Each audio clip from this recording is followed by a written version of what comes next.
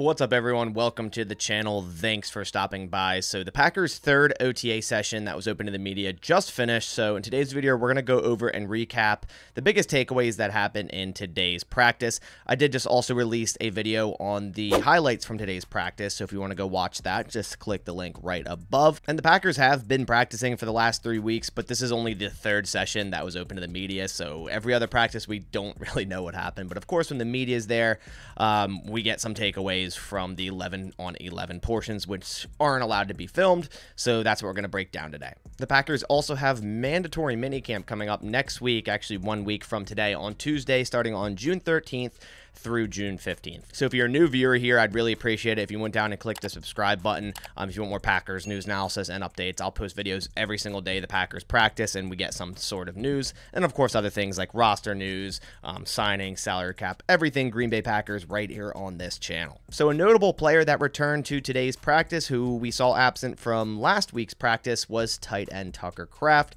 And we saw some clips of him, uh, some highlights of him in my other video as well. Tucker Kraft running some routes, doing some blocking drills so nice to see him back on the practice field. Both Kraft and Musgrave have been getting a lot of uh, work in these practices and likely will get a ton of snaps going into this season, as they likely will be the number one and two tight ends in terms of their inline slash move tight ends. Then, of course, DeGuara more of that H-back role. Some players still rehabbing and not practicing are Grant DuBose, Tay Wicks, who we saw um, out of practice last practice as well, so they are still out, as well as Dallin Leavitt and Jake Hanson. Moving over to the starting offense and defense, let's quickly run over the starters, which not much has changed. This is, yeah, the third practice in OTAs, and this doesn't mean much. It's still so early in the offseason. But obviously, Jordan Love starting at quarterback one and Aaron Jones at running back one. That much is obvious.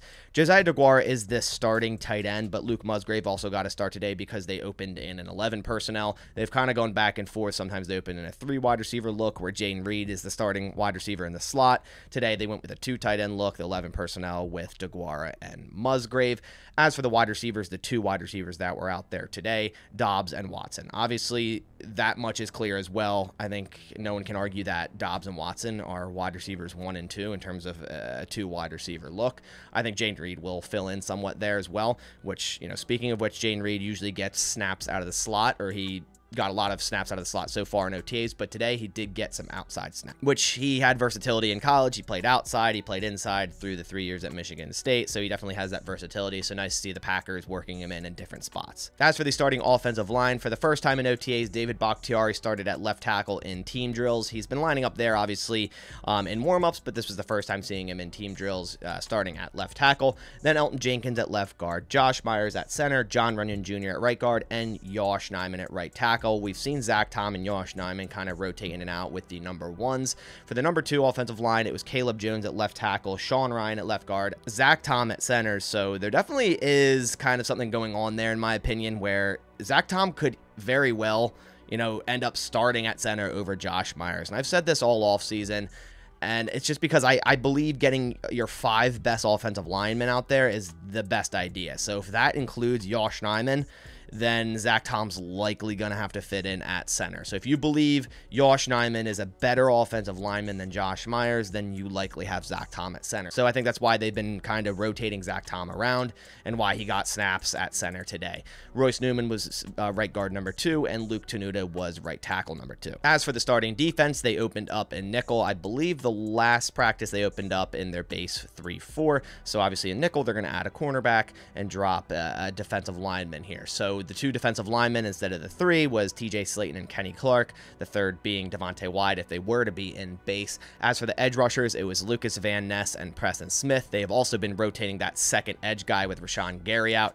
Um, I think the first practice we saw Enagbare start. Last practice we saw Holland start.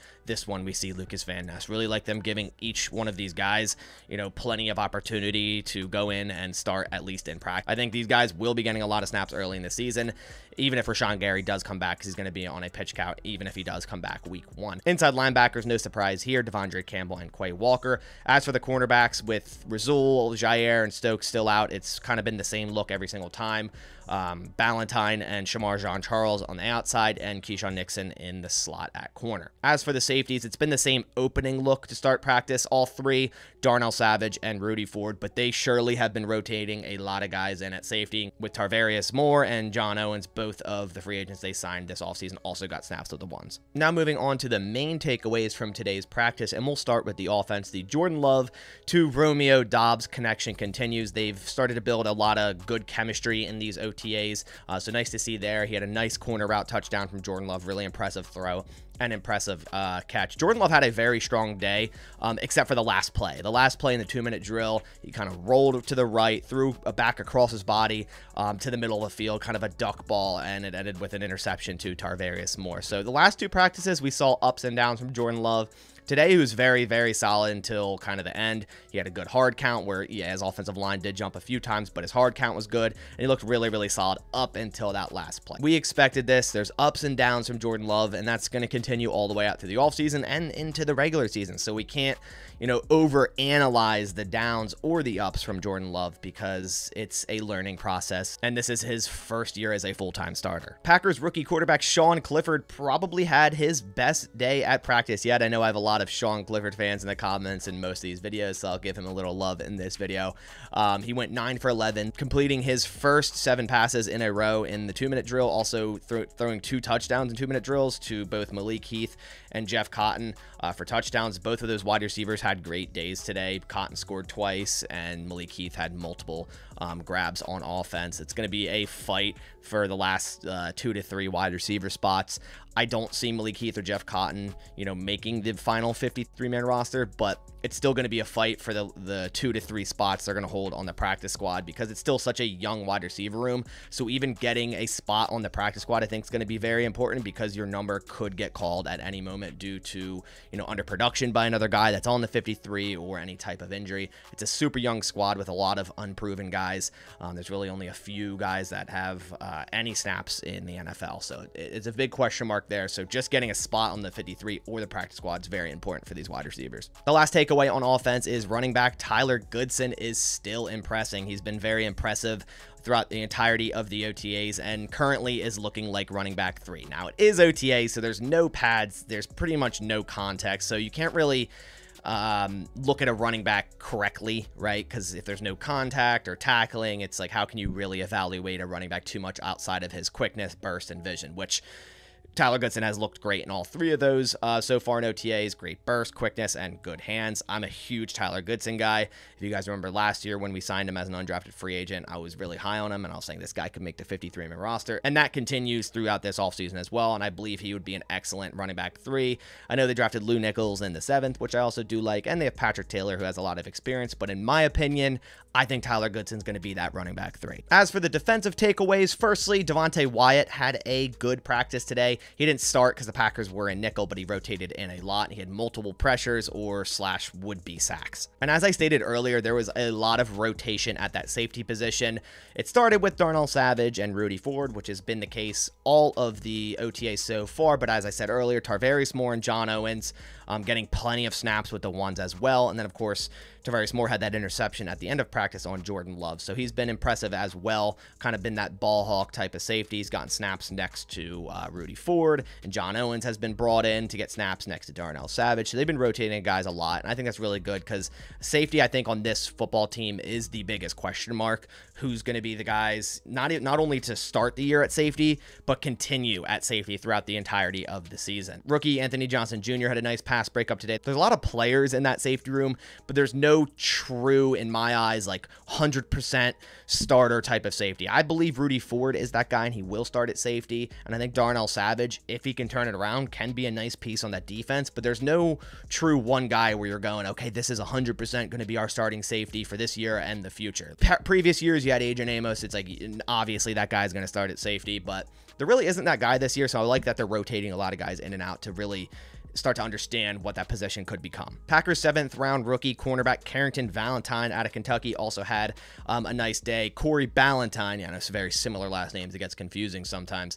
Uh, did get the start today and had to start the last three days or three open days of OTAs. But Valentine with a nice day today had multiple pass breakups on wide receiver Romeo Doubs. And then finally, the edge rushers did a really nice job today on containing the run, not allowing it to go outside. Both Lucas Van Ness and Kingsley Enagbare had nice run stops today. It's going to be very important, this edge group, to be able to also contain the run. Not only rush the passer, which obviously will help this defense, but contain the run.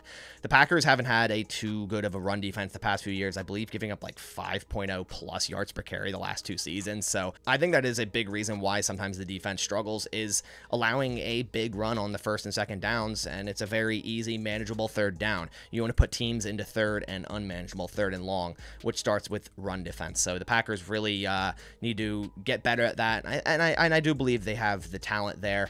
Um, I think if TJ Slaton takes another jump, and of course we have Kenny Clark and Devonte Wyatt maybe takes a sophomore jump, and those edge guys really mesh in that room, I think we could have a, a much better run defense this year. But that does it for all the main takeaways the final day of OTAs open to the media. Like I said, minicamp starts next week, June 13th through the 15th. I don't know which days, if any, are open to media. I would assume one or two will be open to the media. So like I said, all that information and the highlights and the recaps will be right here on this channel. So make sure to go down and click subscribe if you haven't already. But that about does it for this video. Appreciate everyone watching. Hope you have a nice day. I'll catch you on the next one. And as always, go Pack go.